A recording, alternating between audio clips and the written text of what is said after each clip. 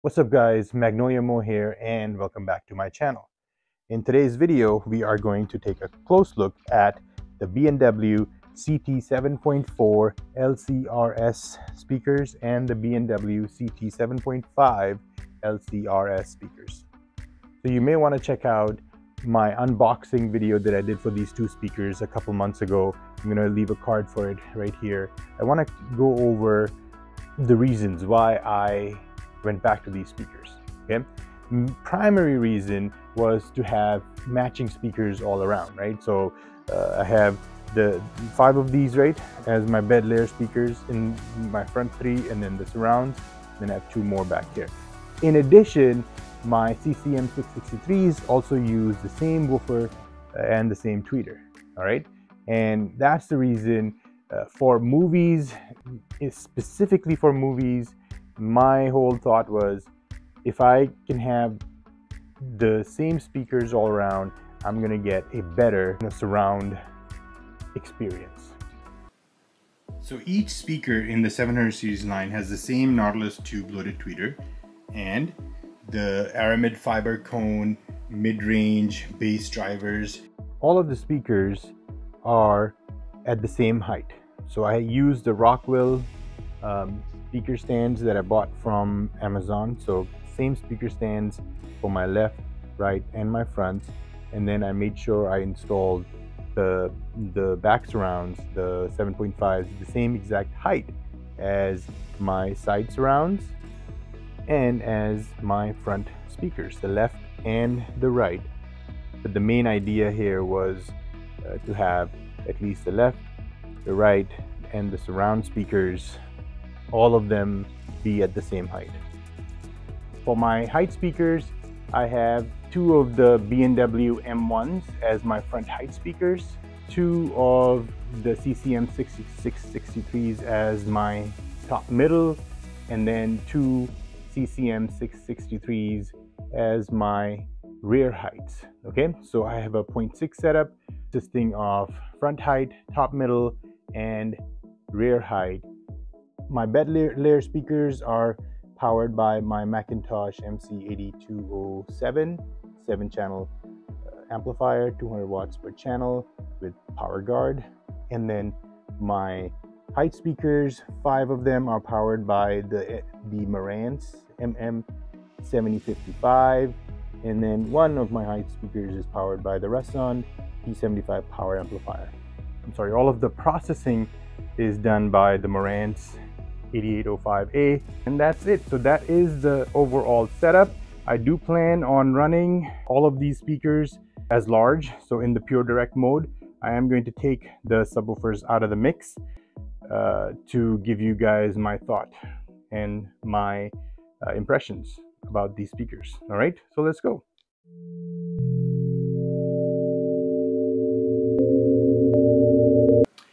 So here is the overall frequency response of the left and right CT 7.4 in my room. As you can see that the, they start to roll off around 30 hertz, which is, is fine. There's some room gain here. I do uh, cross them over at 80 hertz. And then what's important is the strong mid-range and the, the linear output uh, through the high frequencies.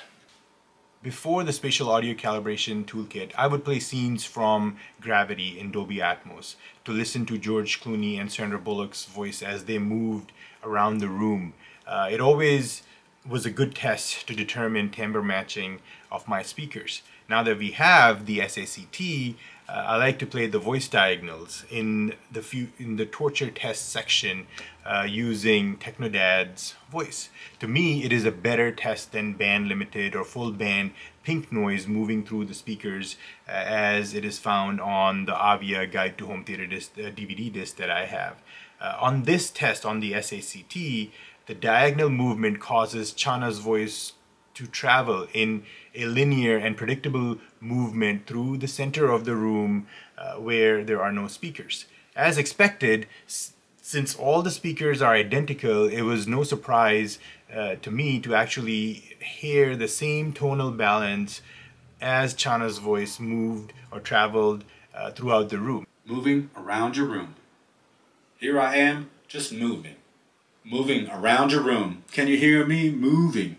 through your room, moving. Switching to actual movie content. 2023's Leave the World Behind has some great demo worthy audio video scenes, at least in my opinion. The movie, eh, right? But the the audio and the video uh, is, like I said, demo worthy. Uh, at the 1 hour 20 minute mark, there is some great sound and camera movement that will have you turn your head with the camera. And the best part is, the sound moves with the camera pans, right? If you have speakers that are camera matched, the sound pans will be seamless with no gaps and dips. There is percussion that moves from side to side, from speaker to speaker, from front, you know, go diagonal from front to back as well. With all that was happening, right? With all that was happening in the scene, the dialogue was still clear and the bass was present when it needed to be, even without the subs. Brad Pitt's 2014 Fury has some great tank battle scenes, especially around the 1 hour 20 minute mark that pound your chest. Running the speakers full range with no subs did not disappoint. There was still lots of bass present in, you know, in the overall sound design. The mid-range actually was full uh, and the dialogue was clear. He's coming out!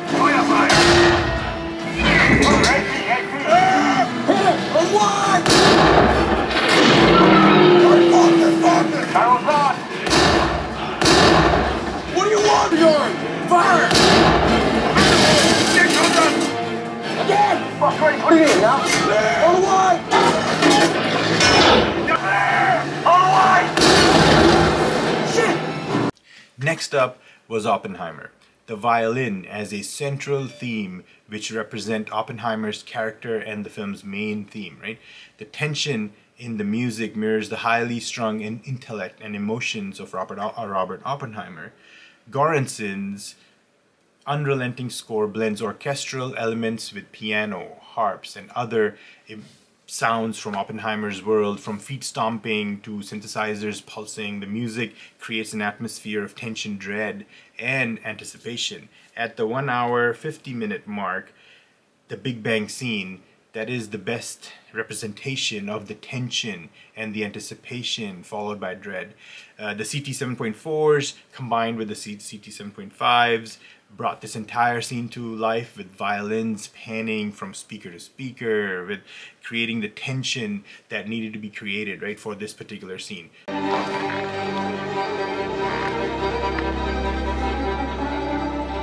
Watch that needle. If the detonators don't charge and the voltage drops below one volt, you hit that button, you abort. Understood? Understood.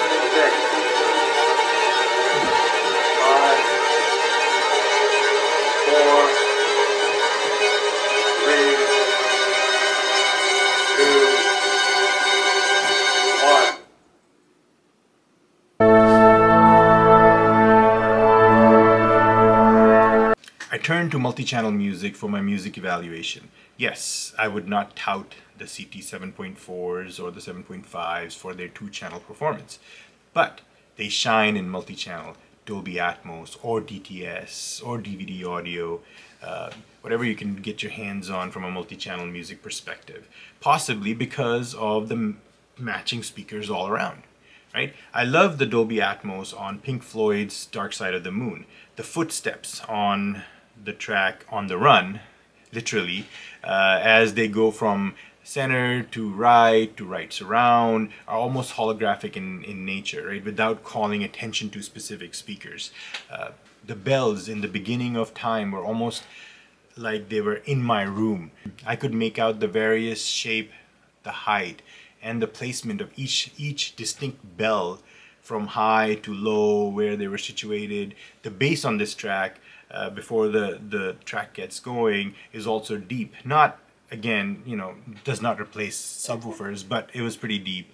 The cash register at the beginning of Money and the dueling guitars and the sax were also great.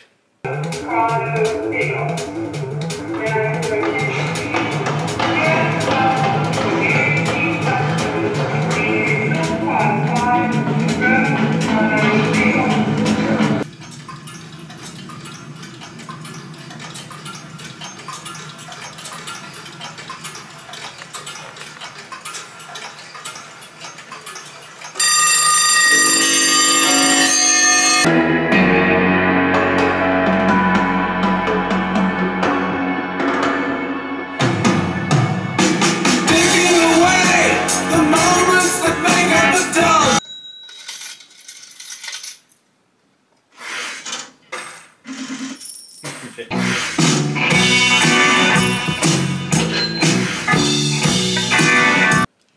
go-to multi-channel SACD is Rumours by Fleetwood Mac. The cymbal crash at the beginning of Dreams is a torture test in my opinion. Um, less capable speakers will not have the same texture and natural decay that that, that cymbal has. Uh, the CT series did a fabulous job with this, with the multi-channel presentation. What I love about the multi-channel music uh, through the CT series is the clear and neutral mid-range. The Nautilus tweeter is easy to listen to, it's not fatiguing.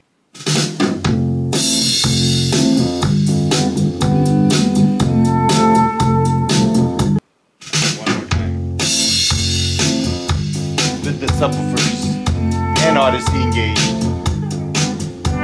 Hope you guys like this video and as usual please don't forget to like subscribe and share this video and I look forward to hearing from you your feedback if you have these speakers or what other speakers uh, you have that are matching speakers that that uh, you tend to agree with the, the things that I've noted or you know in this particular video around the fact that you know if you have the same speaker all around right it does make a difference uh, in the overall sound and overall presentation. uh, all right so I will see you guys in the next one